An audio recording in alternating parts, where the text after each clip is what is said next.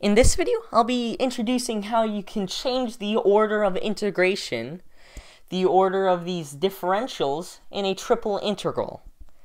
So right here we have the integral that's over the surface that is bound by the plane z equals 0, the cylinder z equals 1 minus y, the cylinder y equals x squared, the plane y equals 1, and the planes x equals minus 1 and x equals 1.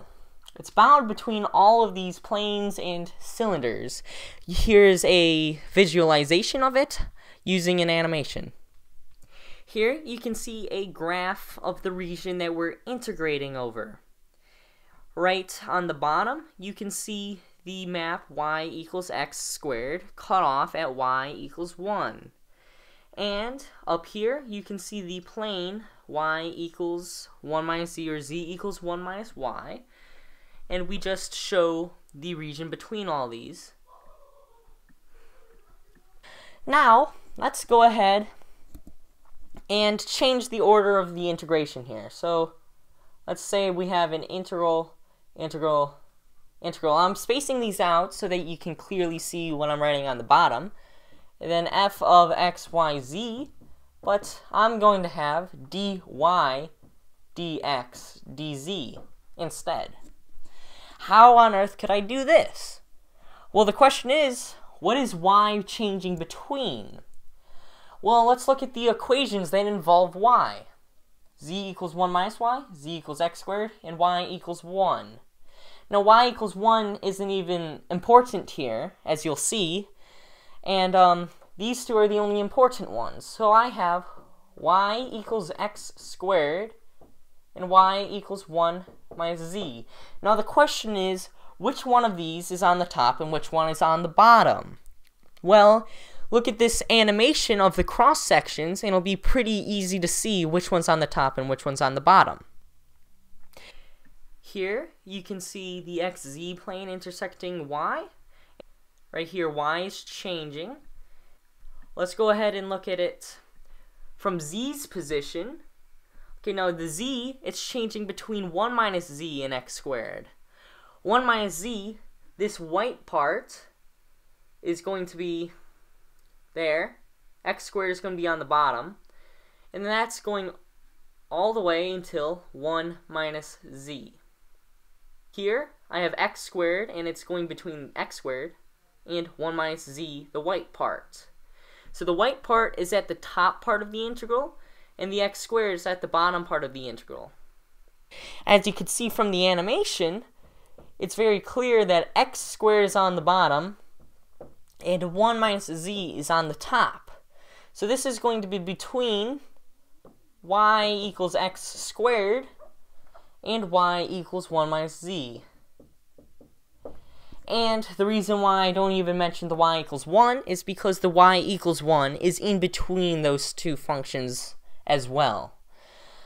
Okay, so now, how do I work with this?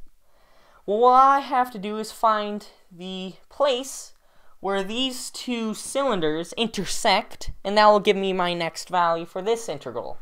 So let's find out where x squared is equal to 1 minus z. The surface we need to integrate over next is this white surface at the top. the reason why we need to do this is because it's the intersection of this x squared and the plane z equals 1 minus y. And so this is the maximal surface that we're going to be integrating over next. And if I just project this down onto the xz plane, it'll look like this. So here you can see this is the curve and this is the z-axis, this is the x-axis. And if you imagine implementing this back into 3D space, it looks just like that white surface we had to integrate over. Well, guess what? Our next variable is going to be x. So x here is equal to plus or minus the square root of 1 minus z. If you look at the animation of the cross sections, you can see that these are the functions we have to worry about. Okay, so I'm doing this between x equals negative the square root 1 minus z and x equals the square root 1 minus z. I needed to have that minus there because remember, on the xz plane, like this, the function here goes like that. Okay, now, what's the interval between z uh, on z? Well, we have z equals 0, so that's going to be the bottom here. And we also have an intersection right here, which is z equals 1. So that's going to be up here. And if you look at the cross sections, you'll be able to see that z equals 1 is the top. Now let's do another one.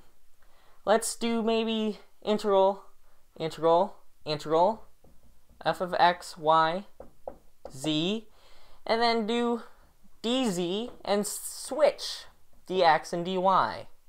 Let's go ahead and figure out dz here. Well, z goes from 0 until 1 minus y. There's nothing I'm changing here. There's no need. Now, x is the one I have to worry about. So let's look at the functions that involve x and y. The surface we need to integrate over now is going to be where the two boundaries on z are going to be, which is 0 and 1 minus y. Right here. This surface right here on the xy plane, we need to integrate over this. Well, I know that y is equal to x squared, which means that x is equal to plus or minus the square root of y. And as it turns out, as you can see from the cross sections, these are the functions that are bounded. So this is going to be from x equals minus the square root of y until x equals the square root of y. Now, what about y? What's y going between? Well, I have y equals 1, and if I graph this function on the xy plane, this function looks like this. So I have x here is going between 1 and minus 1, right? Those are my bounds. x equals minus 1, x equals 1. So these are my lines going up.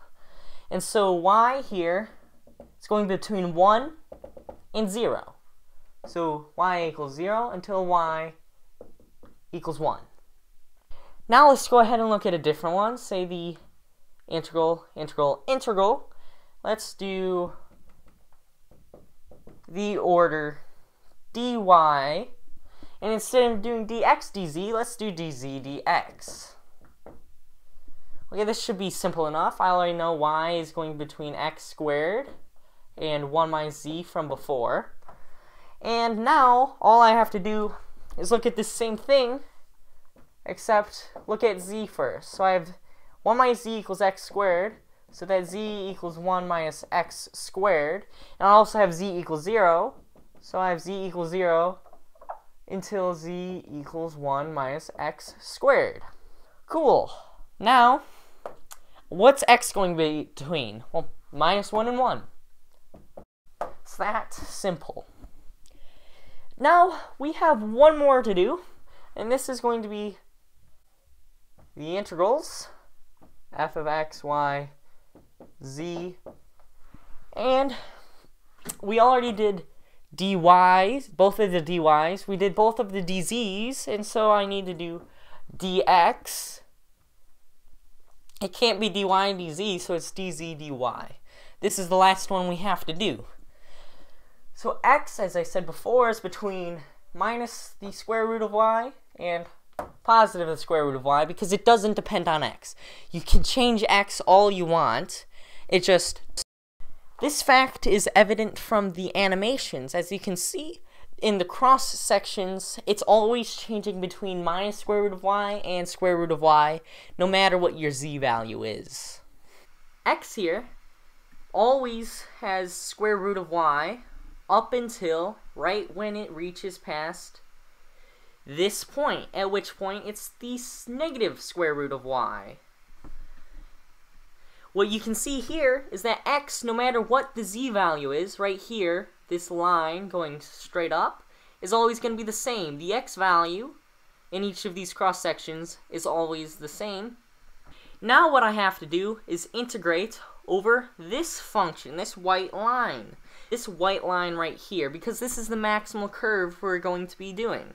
So this blue section and this white line are going to be what we're integrating over next. This is it right here. It's y equals 1 minus z or z equals 1 minus y, doesn't matter. It's just this little triangle. And this is the last region we're integrating over. And it's very, very simple. Z here goes, is this line. Y here is this line. If we're changing Z first, so we're moving along Z, you can clearly see that it's going between 0 and 1 minus Y. And then the next one is going to be Y between 0 and 1. So Z equals 0 till 1 minus Y.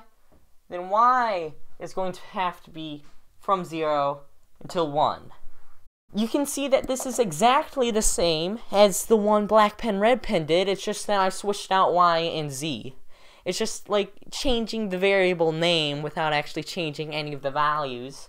So that's not very interesting. And that's why i just squeezed it in right here at the bottom. And that's it